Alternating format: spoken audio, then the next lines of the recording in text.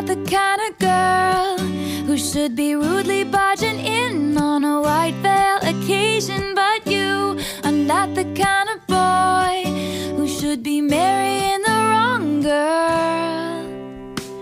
I sneak in and see your friends and her snotty little family all dressed in pastel, and she is yelling at a bridesmaid somewhere back inside a room wearing a gown.